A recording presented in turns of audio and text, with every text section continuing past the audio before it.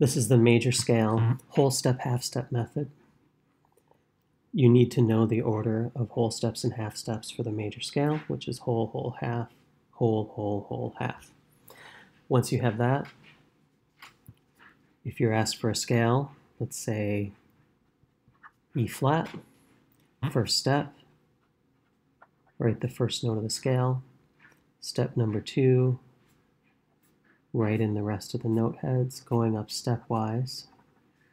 E, F, G, A, B, C, D, E.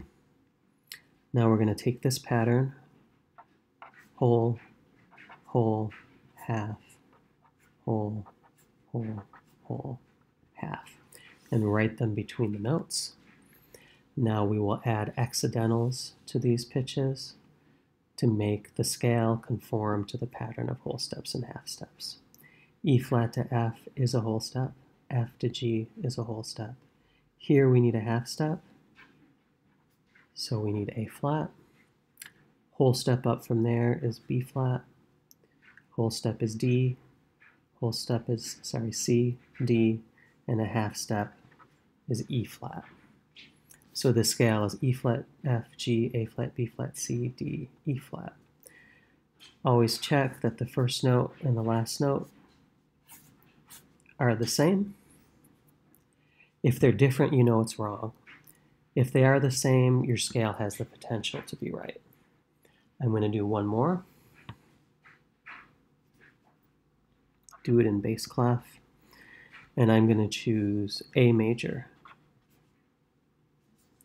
So start on A, step number one, B, C, D, E, F, G, A. Whole, whole, half, whole, whole, whole, half. So step one was writing the letters. Step two, writing the pattern of whole steps and half steps. And now we add accidentals so that the scale corresponds to the whole steps and half steps. So this is a whole step. A whole step up from B would be C sharp. Half step from C sharp to D, that's good. Whole step up is E, whole step up is F sharp. Whole step up from F sharp is G sharp, and a half step up is A. That's the whole step, half step method.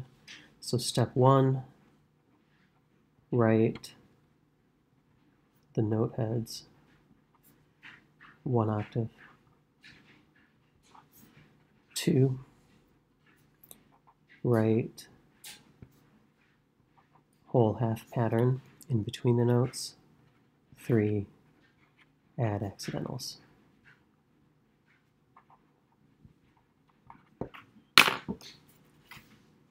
There you go.